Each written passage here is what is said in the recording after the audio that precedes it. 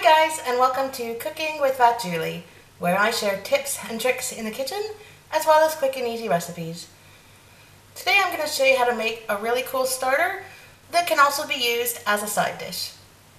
So this is going to be how you're going to get your kids to eat their vegetables. You put them on a stick. Here I have put some cherry tomatoes and some mozzarella balls on a stick.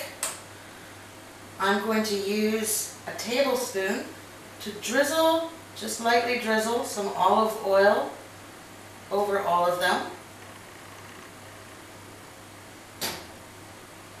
There we go. Now you can use your olive oil to make nice little dots all around the plate or even place them on a bed of lettuce to make it look pretty. But I'm just doing this quickly for dinner. I'm going to take some red wine vinegar and just gently drizzle that on top. Don't put too much. You definitely want more oil than vinegar and if they don't have enough on their plate, they can dip it into what is left on the bottom.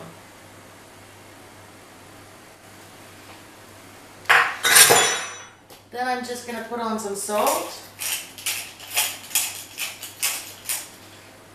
and some pepper.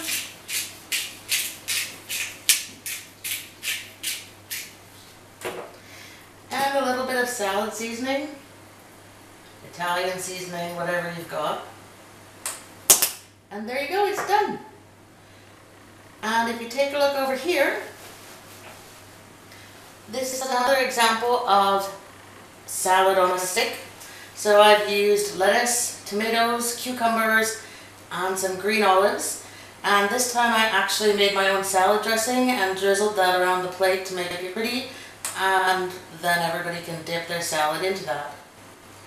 And it's a fun way to have an appetizer or a side dish and definitely something your kids will like. Bon appetit!